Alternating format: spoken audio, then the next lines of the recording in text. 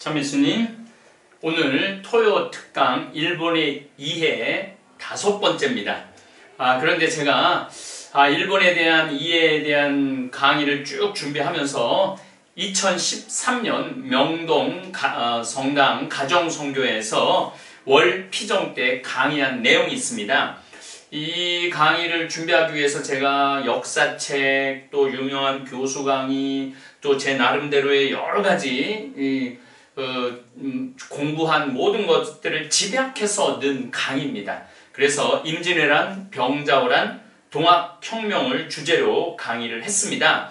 일본에 대한 이해에 도움이 될 것 같아 다시 한번 일본의 이해에 대한 강의 안에 삽입을 했습니다. 어, 임진 1592년에 일어난 임진왜란부터 우리는 참 굉장히 역사를 잘못 이해하고 세계 정세를 잘못 이해하고 결국은 1910년에 일본한테 나라를 빼앗기죠. 어, 1592년이니까 음, 임진왜란은 1598년 9년에 끝난 걸로 보면은 우리에게도 300년의 시간이 주어졌고 일본에게도 300년의 시간이 주어졌어요. 근데 일본은 300년 동안 한 정권이 그대로 유지돼 가면서 1868년 천황을 다시 완전한 천황을 세워갖고 그 힘으로 우리 한반도를 병합을 하게 된 것이죠. 한번 오늘 강의 보시면은 일본에 대한 이해 강의에 도움이 될 거라 생각을 합니다. 그 한 일본으로 갔을 때 우리나라는 임진왜란, 병자호란 그리고 그냥 뭐 형이 아들을 죽이고 또 아버지가 음, 할아버지가 손자 사도세자를 죽이고 계속 그 불안한 그러한 시기를 300년을 우리가 이어왔어요.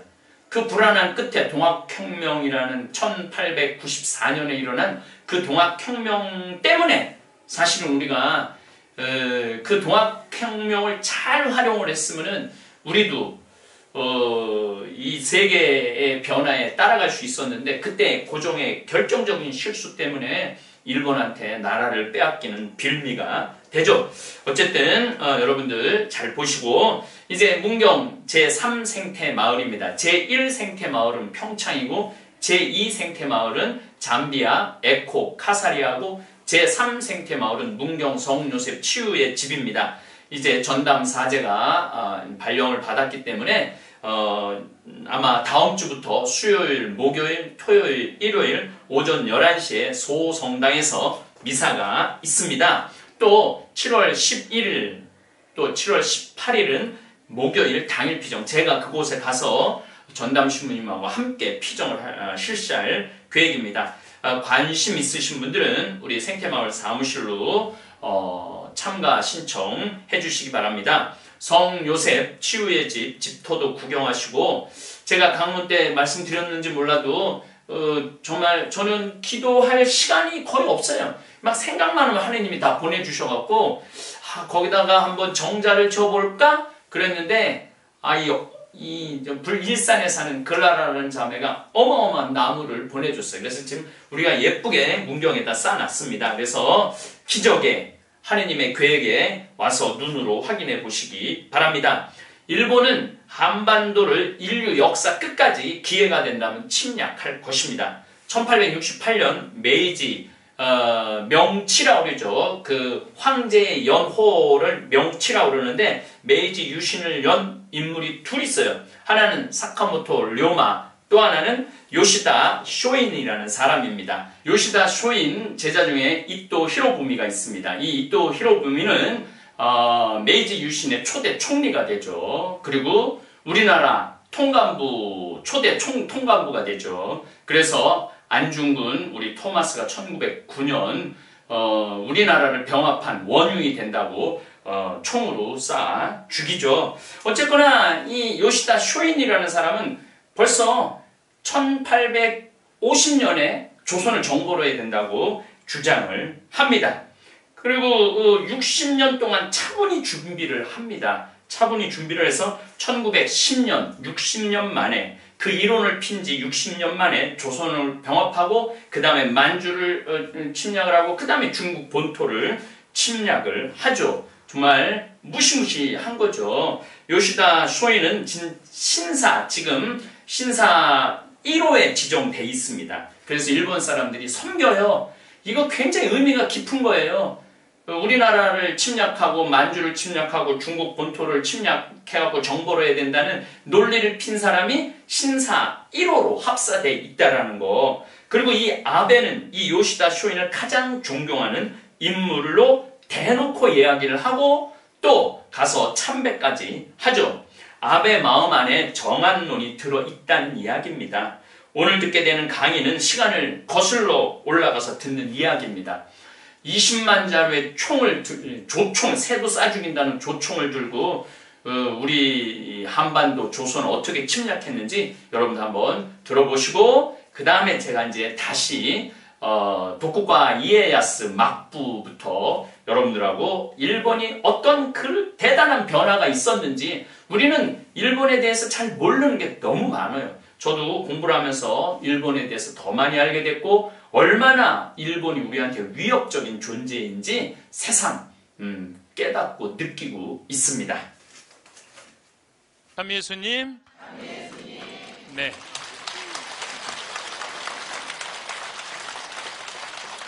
아, 우리나라는 어, 조금 가지지 못한 민중을 무시하는 문화가 좀 있습니다.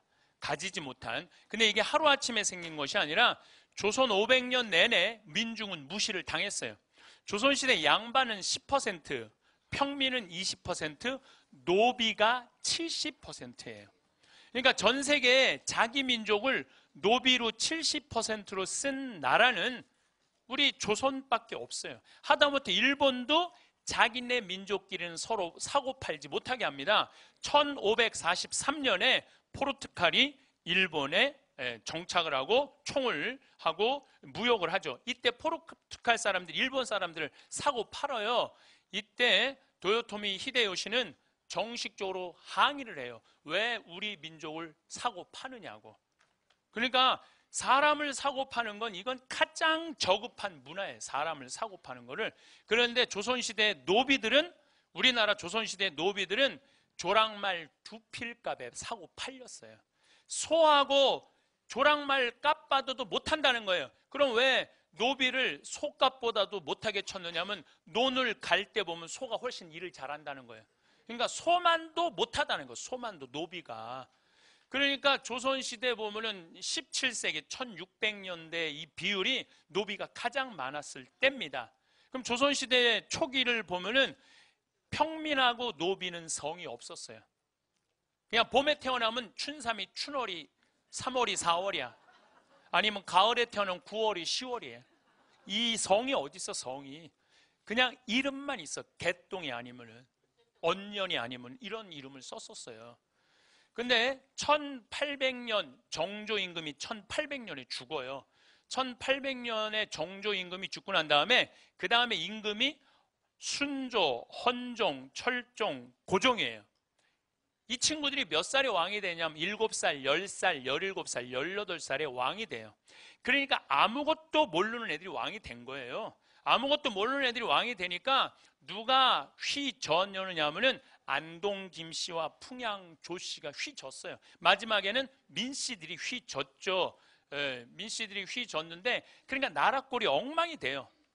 이때 삼정이라는 게 문란이 와요. 삼정이라는 게 뭐냐면 전정이라고 논에서 나는 거 세금 뺏어오는 거.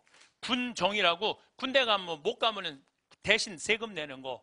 환곡이라고 보릿고개 때 어, 뭐 먹을 거 없으니까 장리, 장리쌀이라고 그러죠? 장리 이자 막 5할까지. 뭐 지금 뭐 저기 무슨 뭐 무슨 그 대출은행에서 뭐 30% 40% 그거보다요 조선시대는 훨씬 비싼 이자 받고 쌀 내줬어요. 조선시대는. 그러니까 먹고 사는 게 없는 거야. 더욱이 평민들 같은 경우는 양반들은 군대도 안 가고 세금도 안 내는데 평민이 다 내는 거야. 너무너무 힘든 거예요.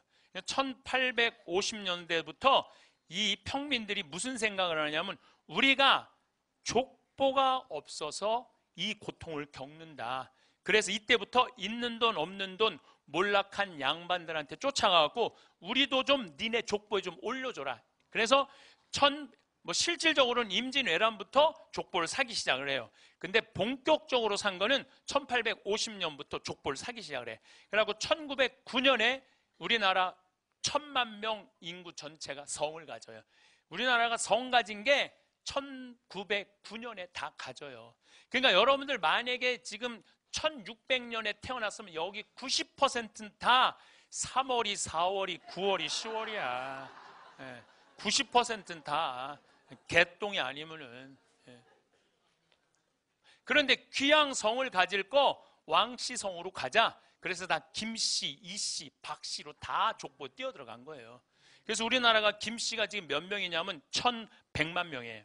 이 씨가 720만 명, 박 씨가 420만 명. 그래서 김 씨, 이 씨, 박 씨가 2,300만 명이에요. 최 씨, 정 씨가 240, 240. 그래서 이 다섯 개 성이 3천만 명이에요. 3천만 명. 어떻게 우리나라 성이 286개예요. 1909년에 286개. 지금은 뭐 이민자들이 많이 들어와고 5천 개로 늘어났어요. 근데 일본은요 성이 몇 개냐면 30만 개, 30만 개. 일본은 그냥 생긴 대로 이름을 줘요. 만약에 대나무 숲에서 태어났으면 닭개다야, 닭개다. 들판에서 태어났으면 다낙가야, 다낙가. 그러니까 생긴 대로 성을 정하고 30만 개야. 근데 만약에 내가 들판 창현이 아니면은 무슨 대나무 창현이 이러면 우리 뭐라 그럴게 우리는 저놈 저 뼈대 적어도 김이 뭐 박씨로는 가야지. 여러분들 골프 선수 이름이 타이거 우즈야. 숲속의 호랑이에요. 생긴 대로 짓는 거예요. 우리는 그냥 죽으나 사나 김 이 박으로 가야 돼. 그러니까 내가 보니까 김 씨, 이 씨, 박 씨들은 문제가 많은 성이야. 사실 나도 황 씨지만은 나도 의심이 많이 가요. 왜냐면 우리 고향 경상도 함양인데 그 뭐하러 뭐 황희정승 22대 23대가 왜 거기 가서 살아요. 예, 황희정승 미친데. 그런데 김 씨든 황 씨든 무슨 타이거든 무슨 상관이에요? 사람이면 다 소중하지 않아요? 사람 자체가 소중한 거 아니에요? 누군 내집 뼈대 23손은 훌륭하고 누군 내 집은 안, 안 훌륭한 게 어디 있어? 사람은 다 훌륭한 거예요. 사람은 다 귀한 거예요. 근데 우리는 그런 게 아니. 다시 말해서 개성이 없는 거예요. 생긴 대로 못 사는 거예요. 생긴 대로. 그러니까 우리나라 사람들은 남이 하면 다 해야 돼. 누군내 김씨로 뛰어들어가면 다 김씨로 뛰어들어가야 돼. 이씨로 들어 다 이씨로. 누가 꾸찌 다니, 들고 다니면 나도 들고 다녀야 돼. 꾸찌 들고 다니면. 짝퉁도 괜찮아. 꾸찌면 돼, 일단. 어, 꾸찌면 돼. 어, 꾸찌면 돼. 그러니까 다시 말해서 개성이 없는 거죠. 개성이. 개성이 없는 거예요. 그러니까 우리 민족은요, 500년 동안 이 노비들은 사람 취급을 못 받은 거 500년 동안 1592년 4월 13일 날 임진 왜란이 일어났어요. 이때 외놈들이 몇 명이 밀고 들어오냐면 15만 8천 명이 밀고 들어와요. 이때 우리나라 전투 능력을 가지고 있는 군인은 몇 명이었냐면 8천 명이었어요. 15만 8천 명이 밀고 들어오는데 전투 우리나라 전투 병력은 8천 명밖에 안 됐어요. 우리가 흔히 일본 사람들을 쪽발이 쪽발이 그러는데 나는 여기에도 동의할 수 없다 이거예요. 여러분들 15만 8천 명 전선 700척 이 저기 뭐 운반선 2천척이 밀고 들어와요. 정발이라는 부산진 그 첨사가 아 일본 배들이 보입니다. 아 조공 받치러 왔나 보다. 조공이 아닌 것 같은데 가보니까 부산 앞바다 새카맣게 15만 8천 명 부산 진에는 몇명 있었냐면 천명 있었어요. 최전방에. 어떻게 누가 쪽발이에요? 천 명이 쪽발이에요. 15만 8천 명이 쪽발이에요. 우리가 일본을 잘못 알고 있어요. 일본은요, 우리나라는요, 에, 남한만 10만 제곱킬로미터예요. 근데 일본은 37만 제곱킬로미터예요. 우리나라보다 3배, 4배가 커요. 4배가. 그리고 우리는 서울서 부산까지 한 450km인데 일본은 삿포로부터 여기 나가사키 맨 끝에서 끝이 3,000km예요. 일본 나라 크기가. 그러니까 일본 애들은 저 밑에 있는 애들은요 추위가 뭔지 몰라요. 일본 애들 보면 막 반스만 입고 다니는 애들 있죠? 팬티만. 반스 이거 일본 말이에요. 이거 없애 이거 요, 요 없애. 네. 얘네들이 왜 그 속옷만 하고 다면 더워서 그래. 더워서. 임진왜란 때 얘네들이 평양에서 의주로 왜 못 올라갔는 줄 알아요? 너무너무 추운 거야. 한 번도 경험해보지 못한 거야. 그러니까 일본 애들은요, 경제 규모가 6조 달러야. 우리는 1조 달러밖에 안 되는데, 인구는 우리가 5천만인데, 걔네는 1억 2,500만이에요. 누가 쪽발이에요? 우리가 훨씬 작은 나라예요. 중국은 경제 규모가 14억에 14조에 인구는 13억. 그런데 전 세계에서 일본 놈, 중국 놈 무시하는 건 대한민국 사람밖에 없다니까요. 이게 얼마나 기가 막힌 노릇이에요. 예, 지금은 전 세계 1위는 미국이야. 2위는 중국이고 3위는 일본이에요. 그러니까 전 세계 가장 강대국 사이에 우리가 껴 있는 거예요. 지금 국정교과서 갖고 싸울 때가 아니야, 지금. 얼마나 지금 우리 위험한 상황에 와 있는데 저러고 맨날 싸우고 앉아 있는 그러니까 치치치라는 거예요. 그러니까 답답하다는 거예요. 우리 지금 현실 상황이 얼마나 냉정한 상황에 놓여 있는데 어쨌든 15만 8천 명이 밀고 들어왔는데 부산진에서 3시간 만에 무너져요. 부산진이. 동래성은 다음 날 무너져. 송상현이 무슨 선조가 잘했다고 저라고 자결해 보고 자결해 버려요. 예. 그리고 4월 30일 날 한양에 도착을 해. 그 많은 군인이 4월 30일 전쟁이 없었던 거죠. 전쟁이 있긴 있었죠. 상주 전투, 춘주 충주 전투, 용인 전투 세 가지 전투가 있었는데 거기서 우리나라는 될 게 아니었어요. 상주에는 고니시 육기나가라는 15,000명 육군 주, 최첨단 주력 부대가 몰고 올라오는데 우리는 재승방약이에요. 전투 음, 국가 방어 체계가 이게 굉장히 말이 어려운 것 같은데 무슨 뜻이냐면 니네 동네는 니네가 알아서 지켜라 이거예요. 예. 그러니까 정부에서 뭐만 장군 하나 보내주는 거야. 장군 누구를 보내느냐면 젊은 장군 이 일을 보냈어요. 이 일이 조정에서 외놈들이 왔다고 네가 가서 막아. 몇 명을 줬냐면 300명을 줬어요. 근데 중간에 다 도망가갖고 이 일이 상주에 도착했을 때는 몇 명이 있으면 60명이 있었어요. 쟤네들은 15,000명이 올라오고 있는데. 그러니까 니네 동네는 니네가 막아. 그러니까 막 모내다가 난리가 났대. 뭐 난리가 났어? 어디서 났대? 상주로 모이래. 그래갖고 북천 변이라고 상주 강 낙동강 변 있죠? 거기에 모여요. 800명이 모여요. 15,000명이 있는데. 그래 한 놈이 쫓아왔고 어 장군님 이제 지금 외놈이 바로 코앞에 왔습니다. 무슨 외놈이 코앞에까 너 안 오면 죽는다. 다음 날인데 안 왔는데 죽였어. 근데 이미 상주성이 뭐 함몰된 거예요. 끝난 거예요. 그 다음에 이제 모이는 데가 대구에서 이제 한 2만 명이 모였어. 난리가 났대. 어디로 모이래? 어, 대구로 모이래. 2만 명이 모였어. 모였는데 정부에서 중앙에서 파견한 장군이 안 내려왔어. 그러니까 뭐라 그래? 난리가 아닌가 봐. 가자. 이게 나라를 지키는 한 나라의 꼴이었어요. 그러니까 15만 8천 명의 8천 명의 군인이 있었다는 것은 백성을 위한 군인이 아니고 임금을 위한 군인이었어요. 그러니까 조선은요 백성을 위한 나라가 아니라 누구를 위한 나라야? 임금을 위한 나라였어요. 사, 충주 탄금대라는 곳에는 이번에 누구를 보내냐면 신립 장군을 보내요. 여진족을 쳐 이기는 명장을 나이 많은 명장을 보내요. 신립이 8천 명을 받아요. 어, 기마병 8천 명을 받아. 근데 보니까 훈련이 하나도 안 돼 있는 거야. 훈련이 하나도 안 돼 있는 걸 가지고 조령이라고 새도 넘기 힘든 조령에서 막으려고 그러니까 다 도망갈 것 같아. 그러니까 어떻게 해요? 탕금대에서 배수진을 쳐요. 도망 못 가게. 그러니까 딱 외놈들이 보니까 또 이틀 동안 비가 왔네. 말 발굽이 다 진흙탕에 빠지는 거야. 뛰지도 오지도 못한 거야. 그러니까 딱 3열로 쏴서 조총으로 죽이는 거예요. 타켓이 얼마나 좋아? 말에 탔으니. 조총이라는 게 뭐야? 새도 싸 죽인다 그래서 새조자의 총자야. 새조 조총. 그 얼마나 싸 죽이기 좋아요? 8천 명이 다 죽어요. 신립은 한강에 빠져 자결해요. 그러니까 4월 30일 날 한강에 도착을 하는 거야.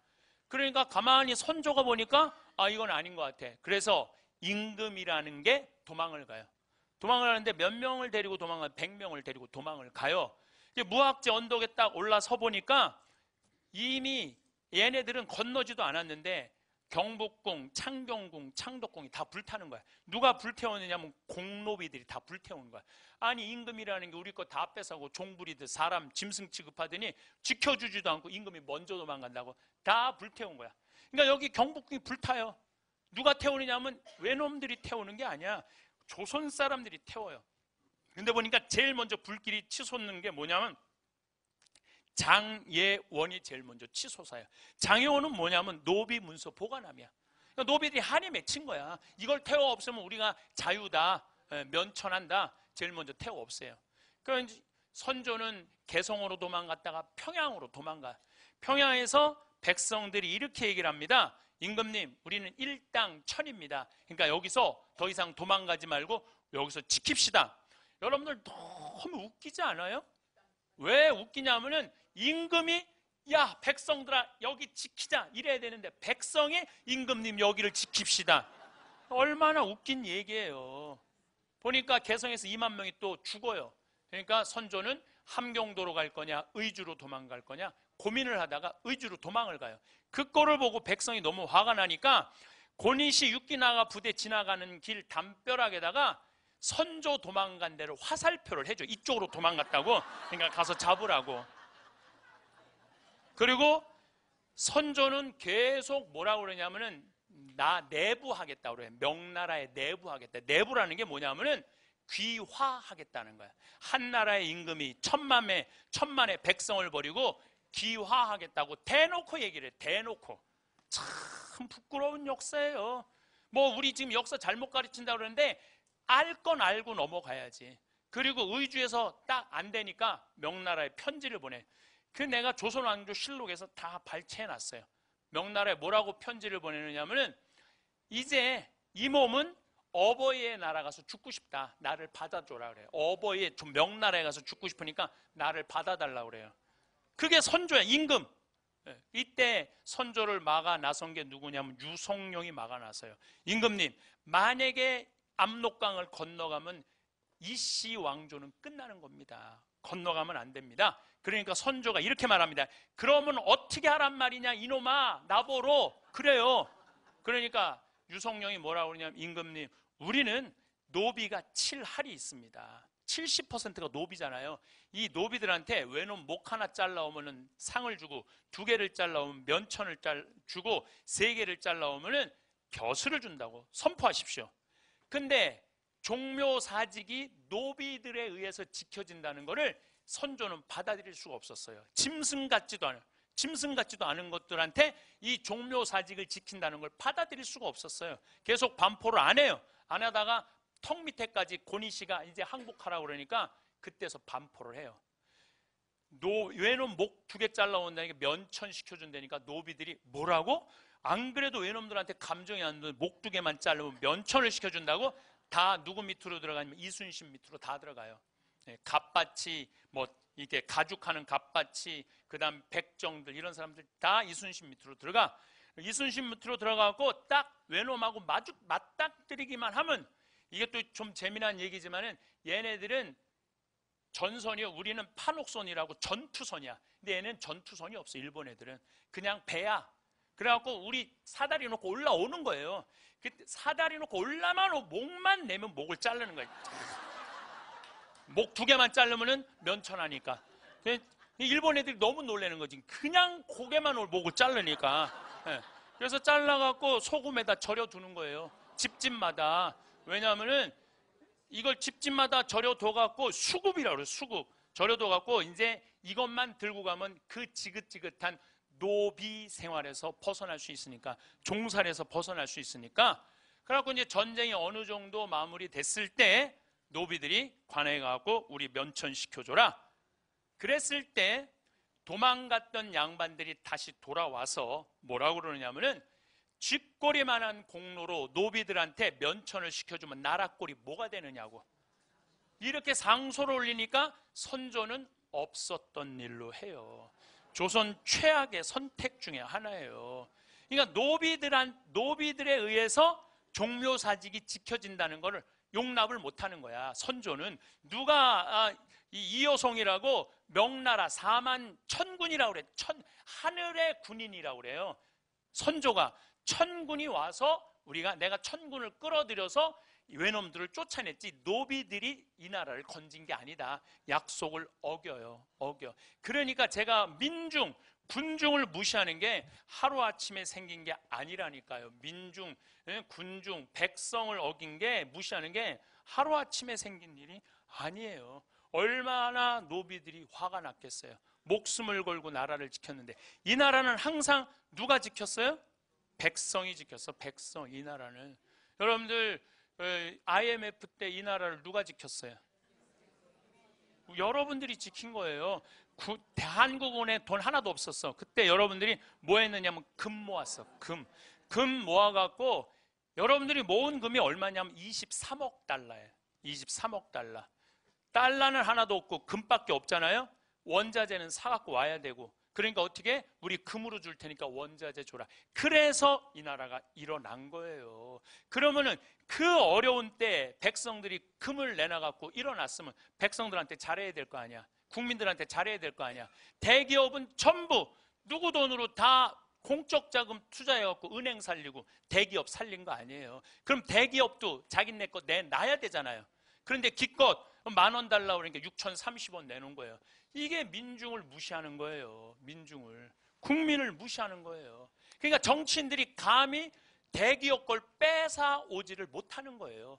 이게 500년 전부터 양반 중심의 정책이기 때문에 그렇다는 거예요. 이번에 내가 미국에 이렇게 가서 참 굉장히 감동적인 음, 일이 하나 있었어요. 그리고 참 슬픈 일이 있었어요. 어, 그 패트리시아라는 자매인데 73살. 자매야, 자매. 네. 그런데 나한테 이런 얘기를 해주더라고요. 저는 동창들끼리 어느 음식점에서 밥을 먹기로 했는데, 밥을 먹기로 했는데, 군인들이 자기네 자리에서 밥을 먹더래요. 근데 걔네들은 항상 군인 우선이에요. 항상 군인 우선이에요. 나도 내가 내 눈으로 직접 본 거예요. 뭘 직접 봤느냐 하면은, 그 미국에서 강의 다닐 때 비즈니스를 내가 타고 있었는데, 나, 나도 비즈니스, 옆에 있는 미국 사람도 비즈니스였어요. 근데 이 군인이 이렇게 지나가니까 이 사람이 갑자기 일어나더니 그 뒤에 있는 사람한테 가더니 자리를 그 군인을 끌고 앉히더라고. 군인이 괜찮다고 그러니까 이 백인이 하는 말이, 할아버지가 하는 말이 나는 괜찮다고. 당신이 이 나라를 지키기 때문에 내가 살 수 있으니까 당신 편안하게 가라고. 미국은요, 이렇게 비행장에 앉아 있으면요, 누구 먼저 태우느냐 하면 first class, 어린이, 노약자, 그 다음에 군인을 먼저 태워요. 항상 군인 우선이야. 군인이 이코노미석에 타잖아요. 그래다 어디다 앉혀주느냐면 비상구 있죠. 다리 쭉 뻗더라고. 항상 그렇게 군인 우선이에요. 이번에도 괌에 강의 갔을 때 내가 5성급 호텔에 머물렀는데 너무너무 놀란 게 짝대기 하나 두 개짜리가 호텔에서 잠을 자는 거예요. 호텔에서 5성급 호텔에서 밥도 최고 좋은 음식점에서 먹는 거예요. 호텔 내에. 저 쟤네들 왜 그러냐 지금 훈련 중이래. 훈련 중인데도 어, 어디서 잠을 자? 호텔에서 잠을 자. 호텔에서. 근데 어쨌든 그 군인들이 한 열 몇 명이 밥을 먹더래요. 그래서 이제 자리를 비켜주고 있는데 자기네들이 그 젊은 군인 아이들이 밥값을 계산하려고 그럴 때 이 패트리샤가 가서 내가 값 계산했다고 니네들 계산하지 말라고 그랬더니 왜 계산을 했느냐고 군인이 물어보길래 니네 미군들이 6.25 전쟁 때 우리나라 와고 우리나라를 지켜줘서 내가 이렇게 내 자식이 미국에 와고 의사도 되고 행복하게 살아서 내가 고마워서 내가 돈을 내준다. 예. 그러니까 얘네들 12명 와서 인사를 탁 하고 가더래요. 근데 내가 그러고 한국에 왔는데 한국에서 지뢰해갖고 발목 잘린 군인 있잖아요. 아직도 치료비를 제대로 못 받았다는 거야. 나라를 위해서. 이게 왜 임진왜란 때부터 이런 일이 벌어졌던 거예요. 그래서 내가 그 얘기를 듣고 야 나도 군인들이 이 나라를 지켜서 나도 지금 이렇게 혜택을 받고 있구나. 그래서 내가 결심한 게 있어요. 앞으로 내가 혹시 어느 음식점에서 군인이 밥을 먹으면 내가 쫓아가고 너 음식값 내지 마. 내가 내줄게. 내가 근데 저만 그래야 되는 게 아니라 여러분들도 그러셔야 돼요. 여러분들도 나라를 지키는 군인을 무시하면 안 되는 거예요. 근데 선조는 최악의 선택을 한 거예요. 최악의 선택을 한 거예요. 임진왜란 때 우리나라가 400년 전에 이미 외놈들한테 나라를 뺏길 뻔했는데 누구 때문에 안 뺏겼냐면 이순신 때문에 안 뺏겼어요. 4월 13일 날 외놈들이 쳐들어왔을 때 조선에서 유일하게 4월 12일 날 전라 좌수사인 이순신이 뭐라고 그러느냐면은 수군들을 훈련을 엄청나게 시켜요. 조선 시대에는 우리나라 수군은 세계 최강이었어요. 수군 이 외놈들은 대포가 없었는데 우리는 대포가 있었어요. 훈련을 정말로 고되게 시키고 난 다음에 4월 12일 날 이순신이 수군들한테 이렇게 말합니다. 오늘로써 훈련은 끝이다. 너희들은 앞으로 어떤 음, 음, 나라 이, 저기 뭐야 군인하고 맞닥뜨려도 이길 수 있다. 이게 4월 10일 12일이야. 하늘이 보낸 거죠. 그래갖고 조선 시대 어떻게 여러분들 여기 지금 의주까지 도망갔단 말이야. 어떻게 먹느냐면 얘네들이 이렇게까지 다 먹어요. 여기만 전라도만 못 먹어. 전라도만 누구 때문에 못 먹느냐면은 진주 대첩이라고 이 김시민 장군 아시죠? 곽재우 의병 이게 진주 대첩에서 이놈들을 막어요. 외놈들을. 근데 바다는 누가 막느냐면 이순신 장군이 막어요. 안 그랬으면 이미 선조는 끝나요. 그런데 육- 이 임진왜란 끝났을 때 선조는 104명의 공신들을 해요. 그런데 장수들은 18명을 주고 86명은 전부 자기 따라간 호송 군인들한테 전부 상을 다 줘요. 그리고 의병들은 다 잡아 죽여요. 음, 저놈들 반란 일으킬 놈들이라고. 그러니까 이게 공과가 이러니 나라가 질서가 서요. 그렇게 해서 임진왜란이 끝났어요. 1636년 임진왜란 끝나고 37년 만에 벌어진 게 뭐냐면 병자호란이 일어나요. 12월 9일 날 병자호란이 날. 이날 청 14만 명이 밀고 내려와. 청군 14만 명이. 이때 우리나라 군인은 몇 명이냐면 8천 명이야. 8천 명. 아니 그렇게 임진왜란 동안 7년 동안 그 백성들이 괴로웠으면 국방을 튼튼히 해야 되잖아요. 그럼 37년 동안 조선 왕조는 뭐 했느냐? 선조, 광해군, 인조 셋이서 뭐 했느냐면 네가 왕이 될 거냐, 내가 왕이 될 거냐 싸운 거예요. 선조는 광해군은 후궁의 아들이야. 쉽게 말하면 본초의 아들이 아니야. 후궁의 아들인데 임진왜란 때 광해군이 의병들을 다 일으켰거든요. 그러니까 선조보다 누가 인기가 있었냐면 광해가 더 인기가 있었어요. 그러니까 광해가 미웠던 거야. 그러니까 광해가 와서 전쟁 끝나고 문안 인사 오면 이놈의 새끼 너 명나라에서 세자 책봉도 안 했는데 뭐하러 나오고 인사 왔느냐고. 자기보다 인기가 높으니까. 그런데 선조가 늙음하게 장가를 갔는데 애를 하나 낳네. 임목 대비가 영창 대군이라고. 이거를 왕으로 만들고 싶은 거야. 그러니까 이걸 왕으로 만들 거냐, 저걸 왕으로 만들 거냐 이건 거예요. 그래서 1608년에 근데 인, 선조가 갑자기 죽어버려요. 죽으면서 어쩔 수 없이 광해가 왕이 될 것 같으니까 불러갖고 이렇게 말해요. 동생 영창을 죽이지 말아라. 네 애미 예, 이 임목 대비는 20살이고 광해는 30살이었어요. 그러니까 얼마나 어린 저기 뭐야 부인을 얻은 거예요. 네 애미를 폐비시키지 말아라. 이랬거든요. 근데 선조 죽자마자 엄마 폐비 폐비시켜 임목 대비. 그리고 영창은 강화도로 보내갖고 예, 문 걸어 잠그고 쪄서 죽여 쪄서 동생을. 그러니까 이게 폐 여기다 폐륜하다 그래서 반정이 일어나는 게 인조 반정이에요. 이때 이괄이라는 장수가 제일 먼저 앞장 하도 괄괄해 갖고 이름도 이괄이야. 예, 예. 제일 앞장서 갖고 어 이 이 광해를 내쫓아요. 근데 이 이괄이라는 장수는 자기가 형조 판서 되길 원했어요. 근데 어디도 보냐면 변방으로 내쫓아 버려. 평양 쪽으로. 그러니까 너무너무 화가 나잖아요. 근데 아들을 영모죄로 또 묶으려고 그래. 그러니까 너무너무 화가 나갖고 일으킨 난이 이괄의 난이에요.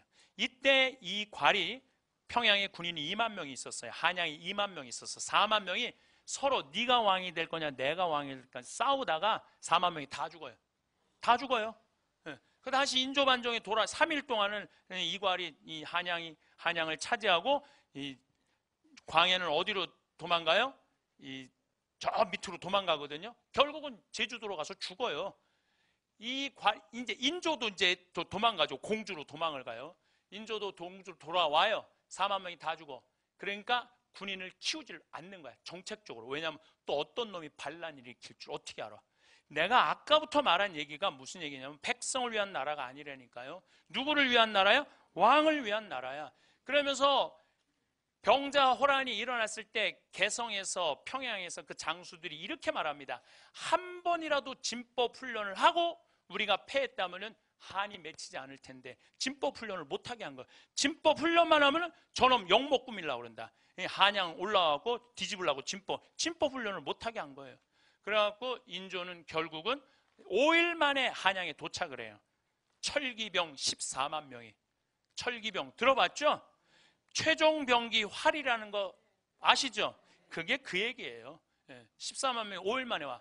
인조는 할아버지 닮- 닮아서 시구문으로 남한산성으로 도망가요. 남한산성으로 버티고 버티다가 전부 다 경상도, 충청도, 전라도에서 또 노비들 오라고 그랬는데 노비들이 안 와요. 왜 안 오냐면은 임진왜란 때 한번 속았잖아. 근데 누구 누가 왕을 위해서 죽겠어요? 왕이 도망 다니고 이런 왕을. 그러니까 안 와. 그래도 억지로 한 4만 명이 와요. 4만 명하고 청철기병 300명하고 붙어요. 쌍영치 전투라고 경기도 광주 쌍영치라고 언덕이 있어요. 근데 겨울인데 붙으면서 너무너무 무서워. 노비들이 한 번도 훈련을 받은 적이 없어. 다 자기네들끼리 도망가다가 밟혀 죽어요. 자기네들끼리 밟혀 죽어. 그러니까 결국은 어쩔 수 없이 인조는 삼전도 지금 여의 저기 뭐야 롯데월드 있는 데 있죠? 거기가 삼전도예요. 삼전도에 끌려 나와. 남한산성에 가깝잖아요. 예, 삼전도에 끌려 삼괴 구고두라는 항복식을 해요. 한 번 절하고 세 번 이마 찢지는 거. 화정이라는 드라마 요즘 계속 해요. 끝났어요. 끝났어요? 거기에 항복하는 거 혹시 보신 적 있어요? 한 번에 그냥 이마에 막 피가 나오잖아요. 예, 그 정도는 아니었대요. 그냥 머리만 살짝 살짝 담으면 되는데 백성들이 아홉 번만 머리에 찢으면 되는데 백여덟 번을 찢었다고 그러는 거야. 이건 백성들이 원하는 거야. 역사에서는 그런 내용이 없대요. 백성들이 원하는 거. 머리통이 터져도 된다, 너는. 그러니까 왕하고 백성의 관계가 깨진 거지. 왜? 왕이 누구를 무시해? 백성을 무시했기 때문에 그래요. 백성이. 왕이 백성을 무시하면 백성은 왕을 지켜줄 생각이 없는 거예요. 이거 정말로 중요한 진리예요. 이번에도 국정교과서 국민들 68%가 반대한다고 그러잖아. 그럼 생각을 해야 되는데 그냥 밀고 나가는 거예요. 별로 내가 보기에 달릴 바가 하나도 없다는 얘기예요. 그래갖고 병자호란이 끝났어. 이제 나라는 정말로 정말 점점 점점 어두운 데로 가는 거예요. 그런데 1894년 2월 10일 날 뭐가 일어나느냐면 동학 농민 전쟁이 일어나요. 전라도 고부라는 곳에서 군수가 갑질을 해야 되는 군수가 갑질. 군수가 무슨 갑질을 해야 되느냐면은 막 죽은 아버지 무슨 묘한다고 비석 세운다고 세금 뺏고 뭐 죽은 애들 세금 뺏고 세금을 얼마나 얼마나 갑질을 하면 군수 이름이 조병갑이야. 네, 네. 조병갑이야. 군수 이름이 조병갑이에요. 정봉준이 아버지가 관아에 가서 매 맞아 죽어요. 그때 전봉준이 들고 일어나요. 그래갖고 전주, 경상도, 충청도, 전라도 다 먹어요. 그래갖고 한 6개월 동안 통치를 해요. 동학 농민군이 실질적으로 통치를 하고 이제 어디만 밀고 올라가면 되냐면 한양만 밀고 올라가면 돼. 이제 고종만 뒤집어 엎으면 돼. 근데 고종은 이 동학 농민군하고 타협할 생각이 없었어요. 어디다 도움을 청하느냐면 청나라에 도움을 청해요. 나 좀 지켜줘라. 그러니까 청나라가 2,800명을 보내줘요. 이때 8,000명의 일본군들이 들어와. 일본 애들은요, 항상 호시탐탐 우리를 노리고 있어요. 일본 애들은 항상 아주 대놓고 노리고 있어요. 지금도 대놓고 노리고 있는 거야, 아베가. 지금도 대놓고 노리고 있는 거예요. 그래갖고 청일 전쟁이 일어나요. 청일 전쟁이 아산, 성안, 평택에서 일어나요. 왜 청일 전쟁을 아산, 성암, 평택에서 하냔 말이야. 청나라 도쿄에서 하든지, 청나라 심양에서 하든지, 일본 도쿄에서 하지. 왜 아산, 성안, 평택에서 하냐 이거야. 왜 우리 땅에서 청일 전쟁을 했느냐 하면은 조선을 최종적으로 누가 먹을 것이냐에 대한 결정 전쟁이에요. 그게 청일 전쟁이에요. 그런데 청나라 애들이요 다 패해요. 더욱이 일본 애들은 거의 기관총 수준의 총이 있었어. 기관총 수준의 총이. 근데 청나라 애들은 그런 총이 없었거든요. 2만 명을 보내는데 다 죽고 200명 도망가요. 200명. 그러니까 이제 누가 이제 우리 주권을 갖고 일본 애들이 먹으면 돼. 그래서 청나라 애들이 청일 전쟁 끝나고 난 다음에 일본 시모노세키라는 섬에 가갖고 맺은 조약이 시모노세키 조약이에요. 이 조약 내용이 뭐냐면은 조선은 독립국이다. 청나라가 선언을 해요.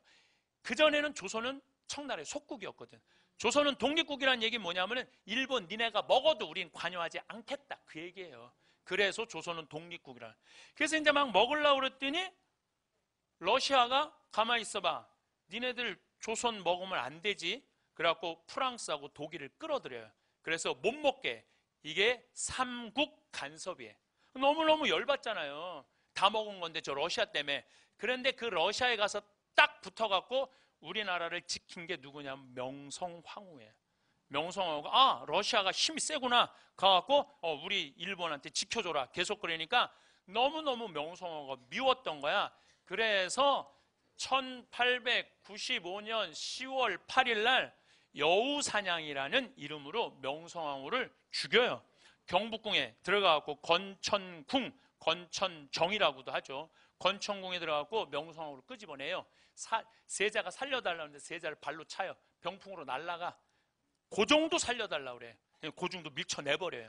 그리고 명성황후를 끄집어내갖고 칼로 두 번 난도질하고 20명이 자객이 들어가서 돌아가면서 강간을 해요.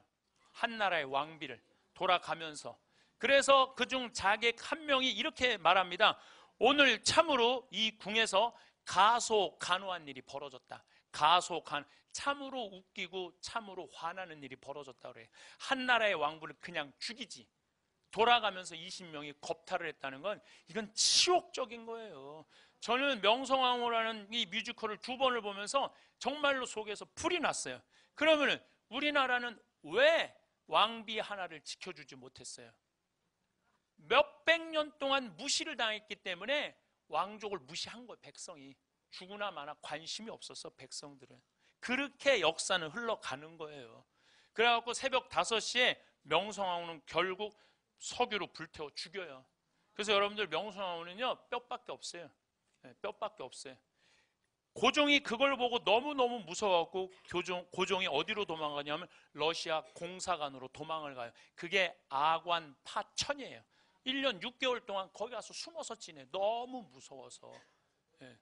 이제 다 먹을 거를 명성황후가 막은 거니까 명성황후 죽은 거죠. 그리고 1904년, 1905년 러일 전쟁이 일어나요.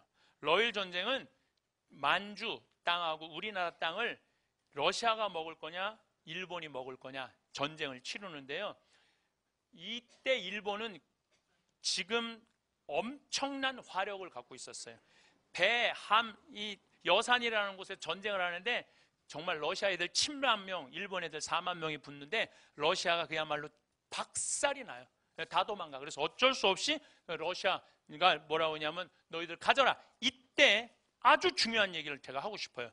이때 미국이 사실은 우리 조약을 맺어갖고 우리를 보호해 주겠다고 그랬거든요. 근데 러일 전쟁 끝나고 난 다음에 미국이 일본한테 뭐라고 그러냐. 니네들 조선 먹는 거 눈 감아 줄게. 눈 감아 줄게. 니네, 니네들은 미국은 누구를 눈 감아줘? 필리핀 먹는 거 눈 감아줘. 일본 니네는. 그래서 서로 조약을 맺어갖고 1905년에 우리가 을사늑약으로 나라를 뺏기는 거예요. 그때나 지금이나 다를 게 뭐가 있어? 여러분들, 지금 이 일본 애들 아베가 지금 이제 다른 나라 파견하겠다고 그랬죠? 그 지지해주는 나라가 누구예요? 미국이에요, 미국. 예. 그리고 북한 진입하는 거, 우리 진입할 수 있다. 아니, 청일 전쟁이나 러일 전쟁 때 탈릴 게 뭐가 있어? 똑같아요. 다시 말해서 이 나라를 지킬 수 있는 건 누구밖에 없어? 우리밖에 없는 거야. 그러면 이 나라를 지킬 수는 우리밖에 없으면 누가 누구를 존중해 줘야 되냐면 정치인들이 백성을 존중해 주고 백성은 정치인들을 지켜줘야 돼. 그래야지 나라가 되는 거예요.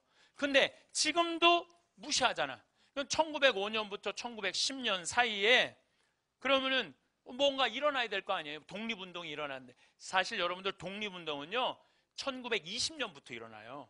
1905년에서 10년 사이 종, 독립운동이 일어나질 않아요. 일어나긴 일어났지. 경기도 용인에서 이익삼이라는 의병장이 나라를 건지자 따라 나서라.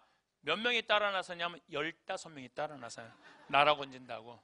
예. 그리고 이 전라도에서는 의병이 일어났는데 103명이 일어났는데 외놈들이 몇 명의 군인을 보내냐면 2,000명을 보내. 그래갖고 103명을 싹 쓸어 없애버려요. 그러니까 아예 이게 나라를 구할 생각이 전혀 없었어. 여기는 환경적 요인도 있어요. 환경적 요인이라는 건 뭐냐면은 1905년에서 1910년 사이에 한 번도 본 적이 없는 가뭄이 와요. 한 번도 본 적이 없는 가뭄. 가뭄이 오니까 백성들이 먹을 게 하나도 없으니까 무슨 왕이 죽고 왕비가 죽고 나라가 뺏기고 안 뺏기고 하나도 관심이 없었어요. 나 지금 먹고 살기도 힘들어 죽겠는데 뭘 한다 이거예요. 그럼 1905년에서부터 1910년 동안 500년 동안 이 나라를 마음껏 누리고 살았던 양반들은 뭐 했느냐? 양반들은 다 뭐 했느냐면 전부 다 땅 팔고 논 팔아 갖고 동경으로 다 유학 갔어요. 다 동경으로 유학 갔어요. 여러분들 일제 그 삼식 강점기 때 일본으로 유학 간 사람들이 평민이 갔어요? 노비가 갔어요? 누가 갔어요? 양반들이 갔어요. 500년 동안 모든 걸 누리고 살았던 양반들이 간 거야. 가갖고 공부하고 돌아와서 일제 36년 동안 매달려서 어, 거기서 일본 애들하고 나라 나눠 먹고 빌붙어서 친일하고 그리고 해방이 딱 됐어요. 해방이 됐을 때 전부 일본 놈들 다 도망갔어요. 우리나라도 아무도 출근 안 했어. 예, 출근하지 않았어요. 나라가 망했는데 어떤 놈이 어떤 양반이 출근을 해요. 일본 정부에 다 붙은 판검사들, 경찰들 예, 딱 황복했는데 양반들이 어, 내일 내가 나 출근해 갖고 일해야 되겠다. 출근한 사람 어디서 한 명도 출근 안 했어요. 그런데 미 군정이 딱 들어오더니 다 출근해 괜찮아. 니네들 데리고 내가 할게. 어? 어 우리 다 잡아 죽여야 되는데 독일은 어떻게 했어요? 전쟁 일으킨 사람들 아우슈피, 아우슈비치 지금까지 잡아 죽이잖아요. 그런데 어, 안 묻는데 36년 동안 나라 배반하고 일본한테 붙어 살았는데 아 묻지 않는데 어 와서 저기 뭐야 출근하래. 거기서 출근해 갖고 다시 주저앉은 거야. 다시 말해서 500년 동안 조선을 백성들을 아주 착취하고 고통으로 몰아넣었던 사람들이 일제 36년도 그대로 다 누리고 살았다가 전쟁 끝나 이 독립하고도 그대로 누리고 사는 거야. 그리고 그 일제를 청산하지 못한 그게 지금까지 그대로 와 있는 거예요. 제가 왜 이런 얘기를 장황하게 하느냐 하면은 정치인들이 백성을 무서워해야 돼요. 정치인들이 백성을 무서워해야 돼. 내가 잘못한 게 있으면은 정치인들이 발을 붙이기 못하게 해야 돼. 근데 우리나라 정치인들은 백성을 무서워하지 않아요. 왜? 백성들이 눈 감아 주는 거예요. 누가 하도 눌려고 살아갖고 까먹어. 그럴 수 있지. 그나물에 그 밥이 지금 하고 있는데도. 그러니까 확실하게 뭔가 해결할 문제는 해결하고 넘어가야 되는데 우리 이제는 노비가 어디 있어? 여러분들도 다 교육 배우고 여러분들도 다 생각이 있는 자유민주주의 국민들인데 우린 표현하지 않아요. 뭐가 자유인지도 모르고 뭐가 인권인지도 모르고 뭐가 정인지도 모르고 그냥 그냥 돈 돈에 그냥 돈만 있으면 돼. 경제만 누가 누군가 살리면 돼. 이명박 대통령이 여러분들 정권 하는 동안 백성을 위한 정치를 했어요. 대기업을 위한 정치를 했어요. 대기업을 위한 정치 다 깎아줬어요. 그래도 백성들이 저항 하나 안 하잖아요. 그러니까 백성을 우습게 보는 거예요. 그래서 저는 제가 많은 경우 이런 얘기를 해요. 일제 36년을 청산할 일이 아니에요. 조선 500년을 청산해야 돼요. 조선 500년을 청산하지 않으면 우리는 미래로 나가는 게 쉽지 않다는 거예요. 예수님이요. 가톨릭 문화 안에 보면은 예수님이요. 어, 가난하니 병드니 그 다음에 이, 이 나그네 감옥에 갇힌 이를 함부로 대하지 말라 그러잖아요. 그 예수님 문화 안에 꽉 차 있는 나라들은요 정말로 복지가 잘 돼 있어요. 그리고 왜 우리 가톨릭이 2000년 동안 유지해 왔어요? 가난한 이들 편에 서 왔기 때문에 2000년을 유지해 온 거예요. 1789년에 프랑스 혁명이 일어났을 때 프랑스 교회는 끝났어요. 프랑스 교회가 왜 끝났는 줄 알아요? 그때 귀족 편에 붙어서 갖고 가난한 이들 편에 쓰지 않았기 때문에 끝난 거예요. 그래갖고 지금 프랑스 신부들은 국가에서 월급 받아요. 국가에서 월급 받아요. 그리고 모든 재산은 다 어디로 귀속됐어? 프랑스로 다 귀속됐어요. 그 왜 그러냐면은 가난한 백성들과 함께하지 않았기 때문이야. 우리 교회도 똑같아요.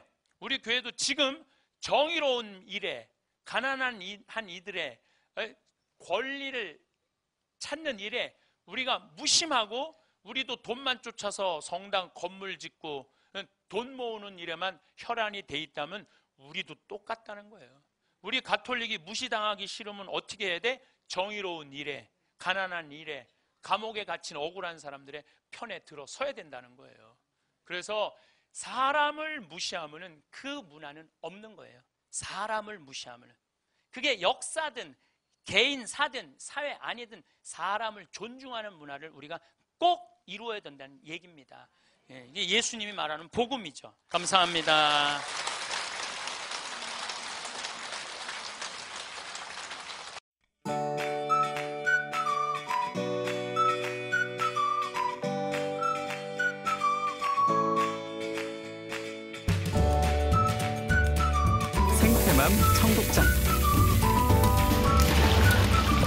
국산 콩은 한 가마에 요즘 45만 원 정도 합니다.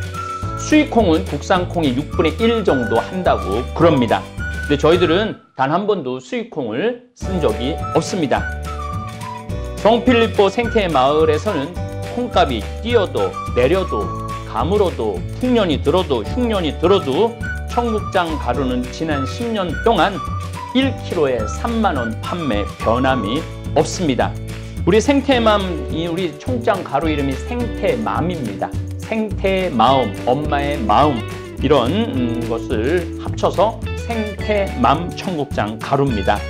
미국 FDA 식품의약청 심사도 통과해서 1년에 50만 달러어치를 벌써 3년째 수출도 하고 있습니다. 어쨌든 어, 여러분들 청국장 가루 많이 구매하셔서 어, 맛있게 에, 많이 드시기 바랍니다. 저는 아침에 밥 숟갈로 두 숟갈 물에 타서 마십니다.